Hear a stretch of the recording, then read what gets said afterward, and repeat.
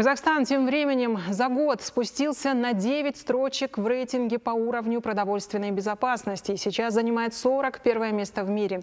Наша страна до сих пор сильно зависима от импорта колбасных изделий, мяса, птицы, молочной продукции, сахара.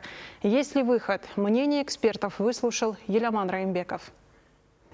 В глобальном рейтинге из 113 стран учитывалась доступность продовольственной продукции для населения, качество, безопасность и наличие продуктов питания. Казахстан, в свою очередь, оказался на 41 месте из-за снижения производства сахара, сливочного масла, свежей и консервированной рыбы и икры.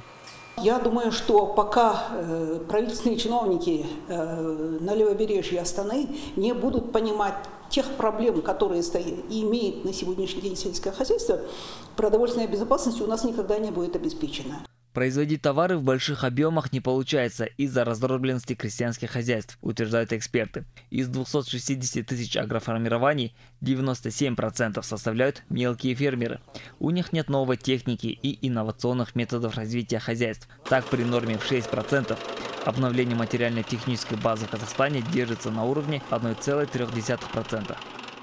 Сельское хозяйство остается малопривлекательной отраслью Э, для инвестиций. То есть мало кто вкладывает инвестицию, потому что э, окупаемость чем под другими э, отраслями в сельском хозяйстве э, занимает ну, не меньше трех лет. Например, если животноводство вложить, то первую товарную продукцию получается 3, через три года.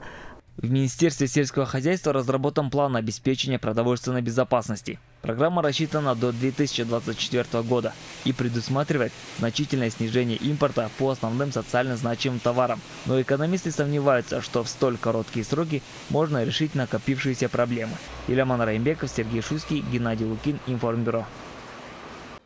Будьте в курсе всех событий, происходящих в стране. Подписывайтесь на YouTube-канал Информбюро 31. Ставьте лайки, делитесь своими мнениями в комментариях. А чтобы первыми увидеть все самое важное, нажмите на колокольчик.